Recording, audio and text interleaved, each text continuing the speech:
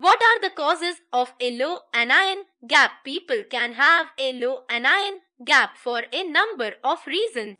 This value, which compares the concentration of positively charged ions in the blood to negatively charged ions in the blood, can become abnormal by a number of metabolic derangements.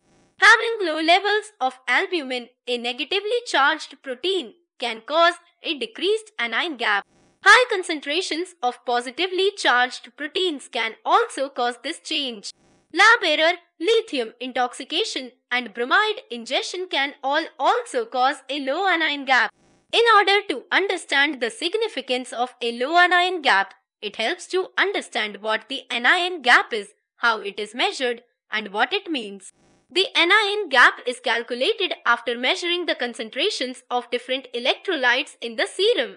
Typically, it is calculated by subtracting negatively charged substances including chloride and bicarbonate from positively charged substances, including sodium.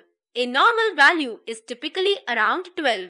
Having a low anion gap is fairly rare and in some studies has been shown to be present in less than 1% of hospitalized patients. Patients who have decreased levels of albumin, a protein made by the liver that circulates in the blood can have a low anion gap. Albumin has a negative charge and when the concentrations of this protein decrease in the blood, the body compensates by keeping more negatively charged ions including chloride in the blood. Higher levels of chloride and bicarbonate lead to a decreased anion gap. Patients with liver disease, malnutrition and kidney disease commonly have decreased levels of albumin in their blood.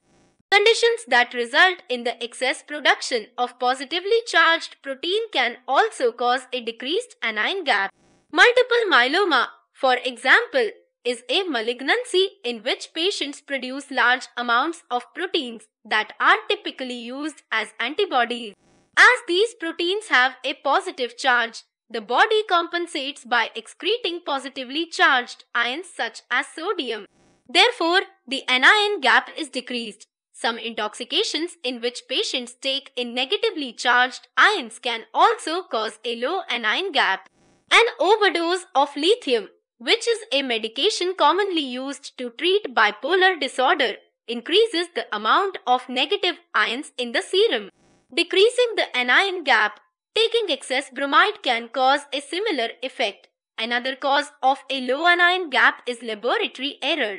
If the values provided for serum concentrations of sodium, chloride, and bicarbonate are incorrect, then the anion gap could be calculated as low when in reality it is normal.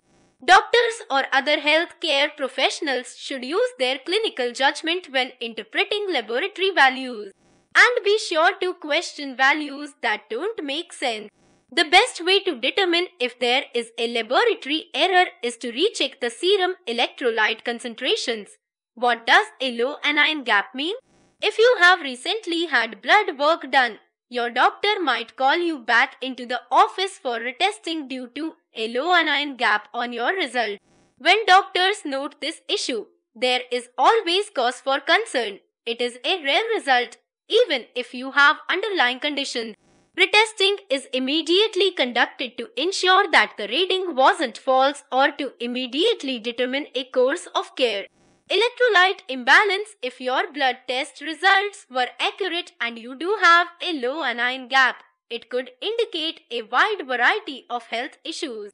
Typically, a low anion gap indicates a pH imbalance in the body linked to numerous different problems. However, the symptoms can be difficult to pin to electrolyte imbalances because they are so common and can have a wide range of other causes. Dehydration reactions to toxic substances, edema, cardiac arrhythmias, nausea, and vomiting.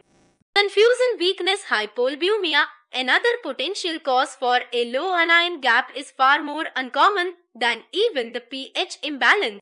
A condition called hypoalbuminemia indicates there is less than the necessary amount of the protein albumin in the blood and is also known to cause a low anion gap. Inflammation is the starting point of hypoalbuminemia and can be caused by Malnutrition, liver or kidney disease, lithium toxicity, severe burns, sepsis, too much calcium, potassium, or magnesium, multiple myeloma, how to lower anion gap.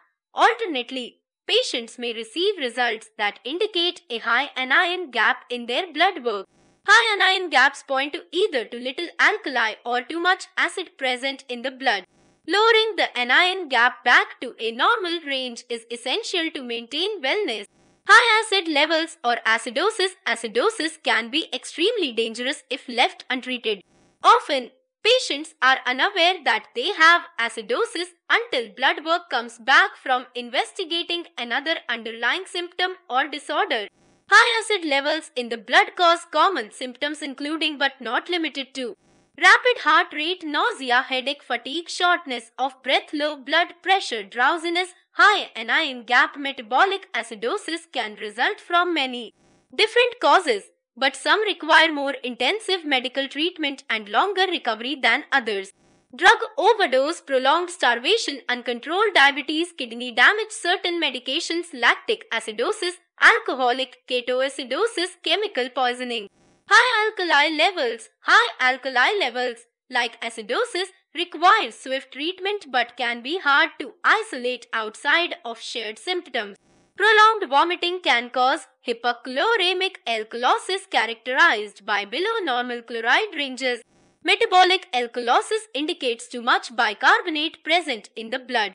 Symptoms of high levels of alkali include but are not limited to lethargy and fatigue headaches, low calcium levels seizures and muscle spasms, delirium, heart palpitations, lowering the gap since there are at least three primary types of anion gaps and multiple causes for symptoms. Patients must consult with their direct care teams before seeking treatment.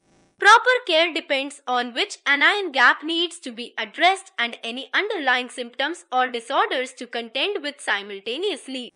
The general medical approach is to return the levels to the normal range to stabilize the patient's blood work.